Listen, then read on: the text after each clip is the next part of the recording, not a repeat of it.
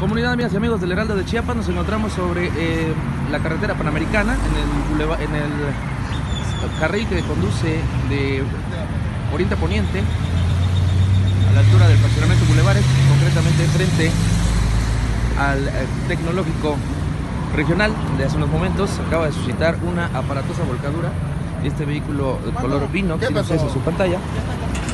Al parecer, bueno, pues el conductor perdió el control para exceder el exceso, al exceder el límite de velocidad, terminó volcando.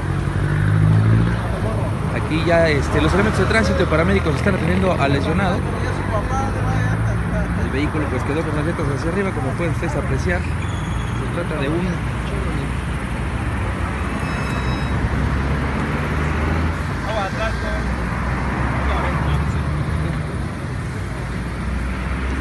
un Chevrolet Chevy, color vino.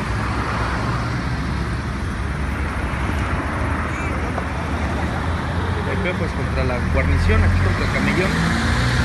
Salió proyectado, terminando volcado con las llantas hacia arriba. En estos momentos pues el conductor está siendo atendido por paramédicos de la Cruz Roja.